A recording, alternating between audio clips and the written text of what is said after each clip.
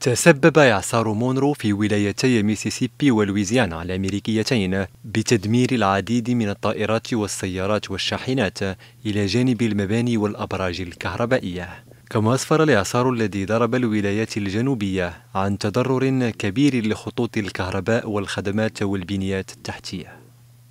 ولقي ما لا يقل عن ستة أشخاص حتفهم بعد اجتياح عواصف قوية الولايتين مخلفة دمارا كبيرا.